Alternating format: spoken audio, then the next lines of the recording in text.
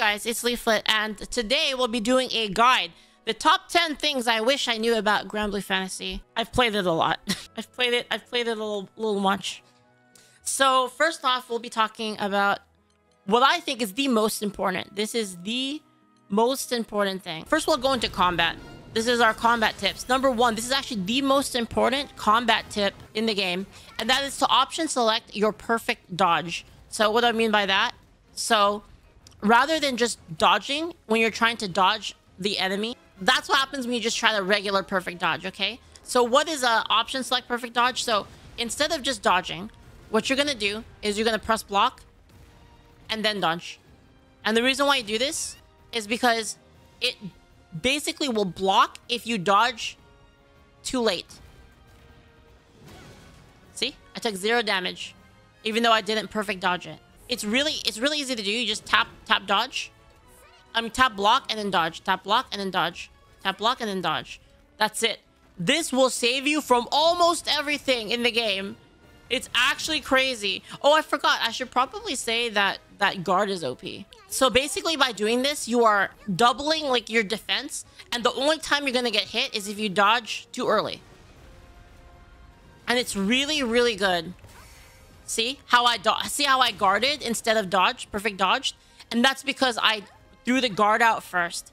And it's really, really good and it's free basically. You also can do it by just holding guard. You can just hold the guard button uh, as long as you have guard. It's like, yeah, I'll, I'll let this guy jump on me. See? You can hold the guard while dodging. And what that does is, again, it blocks... It blocks and dodges at the same time.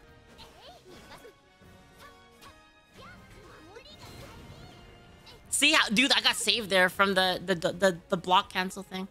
All right, next I'm to talk about guard cancel. Okay, so how do you do a guard cancel? So if you're doing a combo, it will do like this combo. And some enemies, like this guy right here, likes to run away from you. Look at this. You see this punk? He likes to run away from you. So what you can do to pin him down is to just do this. And you do that by pressing block after your attack. And you just pin them down and they can't leave. And I love doing this on small enemies. See, like you just grab this guy and you just keep him there. And you can also do this like just in general. If you just need like a couple hits of damage. It's not great though for like, you don't want to do this for damage really. So tip number three watching your links, watching your links to refresh mechanics. So say I have, uh, let me just, here we go. Stun. I use my mechanic, I dump it, and then I link. Because it always refreshes your pets. And you want to do this with every character. If you have a resource that is replenished by link, dump it. And then get, and then dump it and then get them back. Always. There we go. Tip number four. During SBA, hold it during chain chance. Wait till the very end. Gives maximum stun on the enemy. Because if, if you wait until the end, and everyone waits until the end, your entire team has more time to DPS. Next, tip. Tip number six. No, it's five. Sorry, five. God. Tip number five that like I wish I knew.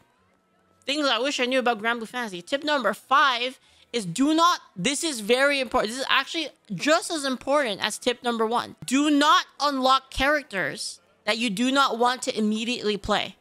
If there's char don't don't unlock characters for the sake of unlocking them. Only when you're ready to play them.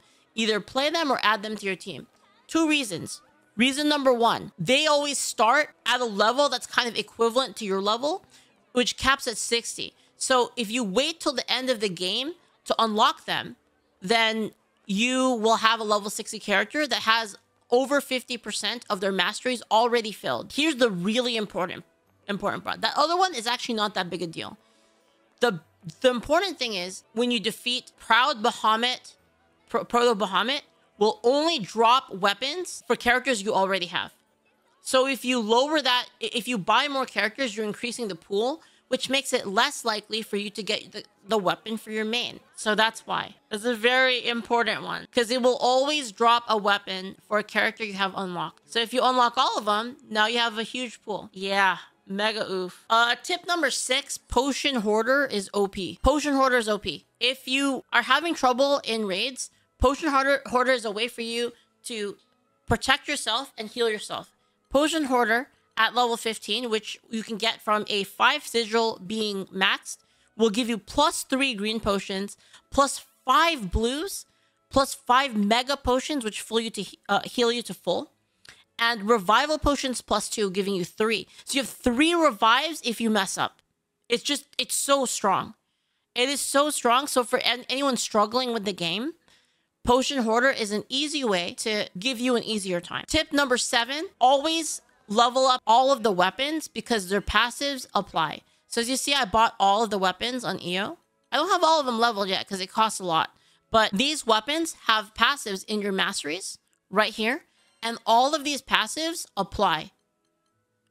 All of these, all are active after you unlock them with masteries. It doesn't matter if you're wielding the weapon or not. You will always have these. So always buy these because they're really cheap. Tip number eight. Siero's transmutation shop is upgraded after Proud and can drop 5 plus sigils.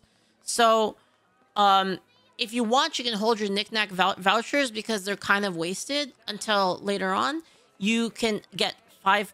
It gets upgraded so that you can get 5 plus. So 5 plus are the end game sigils, which you can use to transmute right here from level 3. And you can it can drop 5 pluses. It's just really rare, but it can drop them. So do note that they do drop. Tip number nine, farming spots and how to level sigils. Uh, farming masteries, so we're just going to tell you real quick. How to farm masteries. There's two ways. So this is the baby way to farm masteries. So you go back to Folca, and this guy right here has a quest. And this quest gives you 700 mastery points, and all it costs is five shards of earth and fire. And you can talk to this guy over here. And they're always up, by the way. These guys are always up, and all you do have to do is do a quest, and it will reset them. This is the other one. And this one gives you wind and water. So make sure that that's how you can get 700. You can get 1.4 thousand per run. La lastly, uh, let me show you um, uh, other farming spots. So the other farming spots are here. This is like end game farming. Oh, there we go. Maniac. I'm dumb. Uh, Slimepede. Maniac Slimepede is the best place to get uh, mastery points afterwards. Uh, a lot of them just, they just drop mastery points. Also gets you gold. Uh, also gets you gold. And one important thing is that it has a chance to spawn a slime, uh, a rainbow slime. And if you see that rainbow slime, kill it immediately because it drops uh, a bunch of really good items. Uh, some of the items that it can drop. And it will always drop multiple, by the way. It doesn't drop one. You can get these items from the rainbow slime. And the rainbow slime, it does not spawn often. Like, to be honest, it's kind of rare.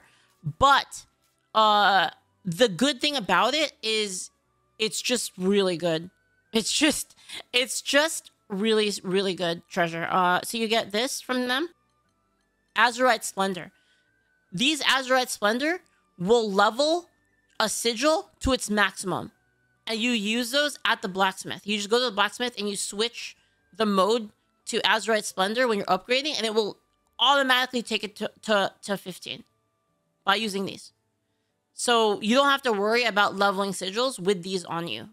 Uh, Damascus ingots can be used to unbreak weapons, and it's best used uh, from level 125 to 150. It does not work on Awakening.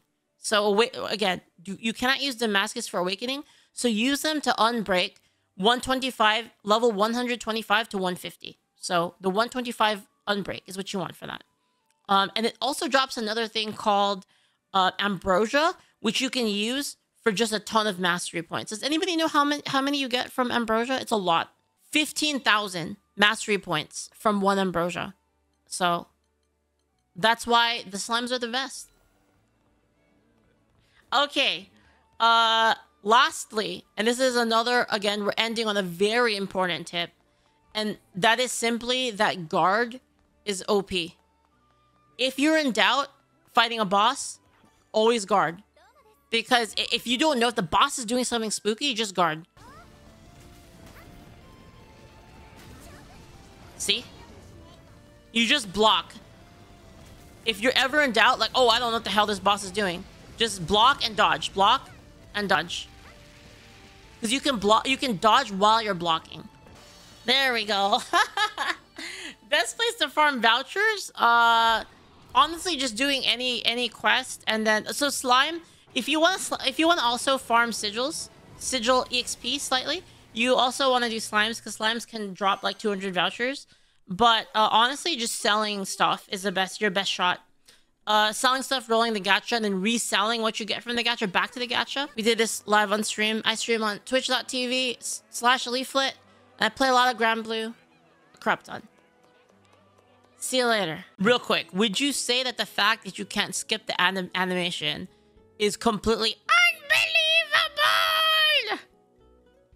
Like only only show if it's like really good or new.